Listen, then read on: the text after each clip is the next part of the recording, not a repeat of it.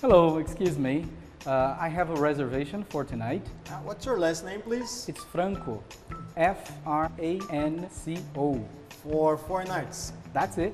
What's your passport number, please? It's CW961234. Thank you. Can I have your credit card, please?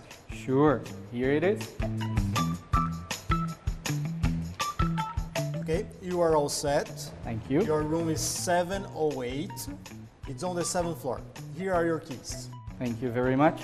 And is breakfast included in the price of the room? Yes, it is. And what time is it? The dining room is open from 7 a.m. to 10 a.m. It's over there. All right. Thank you very much.